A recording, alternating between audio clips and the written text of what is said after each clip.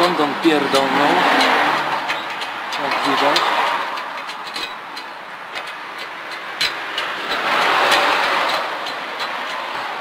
Jedziemy dalej. Ale kurwa dziad. Mam nadzieję, że felga zejdzie. Dobra, jedziemy dalej.